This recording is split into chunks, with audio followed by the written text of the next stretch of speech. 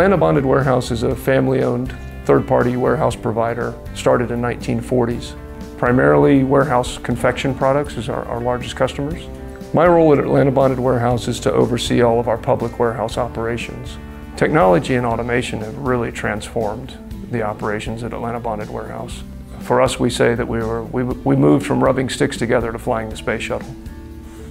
When we went through the evaluation, there were some key components, and one of the key ones was that client was primary key on most of the databases. If you have item 123 for two different customers, you're going to have to augment the item code to make it unique.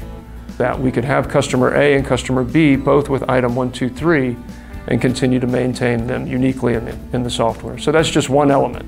During the five years that we've been using warehouse management, we're realizing increased efficiency in the warehouse uh, from the directed work, primarily interleaving functions so that we don't have empty forklifts running around the warehouse. And we're also starting to be able to do individual performance measurement for my associates, which is something we didn't have prior to purchasing this software.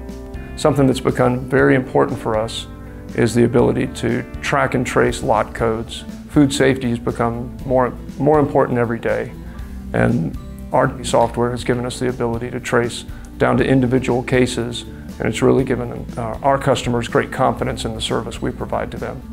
Anybody in the supply chain industry that's in, in the areas that I'm you know, accustomed to. Uh, obviously, as a, as a third-party warehouse provider, warehouse management solution is important to us.